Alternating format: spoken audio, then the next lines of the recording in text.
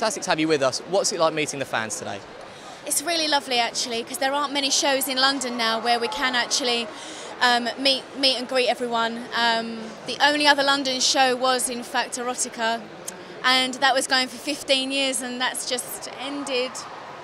So this is the only London show, and it's great because um, I've been modelling for 15 years, and I've done things like. Um, Footballers' Wives, you may recognise, not recognise me because I've got dark hair there, um, where I played Keeley, as well as page three for The Sun and the Star and various other TV presenting jobs. And um, it's just nice for me to be able to come and meet people in a safe and fun family environment.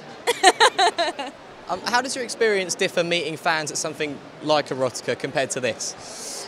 Oh, Erotica's pretty much the same as this, really. I mean, everyone's in, in fancy dress there too. yeah, just a lot more whips and chains and handcuffs, but I've seen pretty much a lot of those here too, actually, with the cosplay characters. And um, so, for anyone looking to get into modelling, what would your advice be? Um, don't do it. it's not the same anymore. Um, when I, I was really lucky when I started.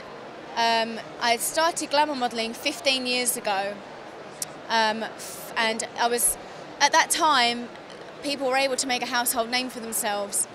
But now it's kind of changed, and there's a new concept with models uh, winning a contest. Hey, your prize is to shoot for us for free for the next year. You know, a lot of these real girls, girl next door competitions. And the, the fact is, the truth is, the girls are pretty enough to become a model, but unfortunately, magazines and newspapers are exploiting them and so there isn't any actual paid work anymore for models. So that's why now a lot of the girls do uh, become webcam stars, and like for me, I work on presenting an interactive TV show. Play, I work for Playboy TV, and I do that three days a week. And then I have my own website and produce a calendar every year, like this one. It's a bit shiny.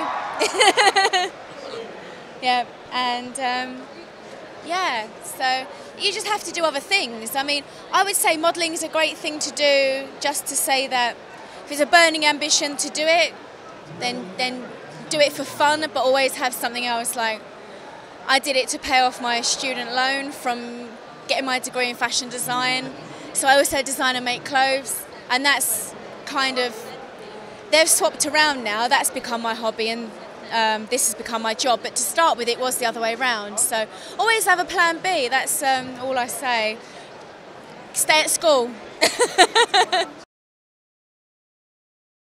I'd just like to say thank you so much and you know I'm a, I'm a real down-to-earth girl from Essex and I never forget where I come from and I certainly don't ever forget that it was you guys who put me here so mwah.